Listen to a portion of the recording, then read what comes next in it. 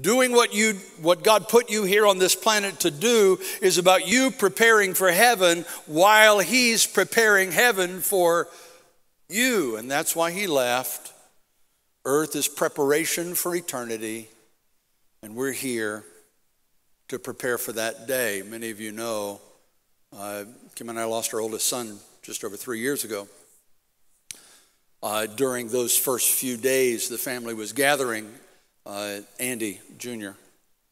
came into the room where I was sitting with some of the other family members. He was 13 at the time. So proud of that young man. You're watching Andy. I love you, dude. Um, he's 16 now. But he walked in and said, You know, we, we've been studying numbers in school, what numbers mean in the Bible. He's in private Christian school. And uh, he said, We learned just recently that, that the number 40 means testing. Um, Andrew was 40 when he went to heaven. I shouldn't have looked at Kim.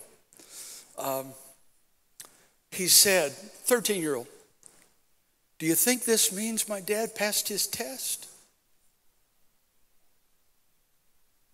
I want to pass my test.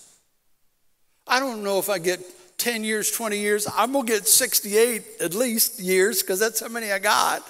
I don't know how many more I got. I don't know how many more you got. But at the end of the day, I want him to say, Well done, good and faithful servant. You did what I left you on the planet to do. Anybody with me? Anybody say amen to that one? Come on.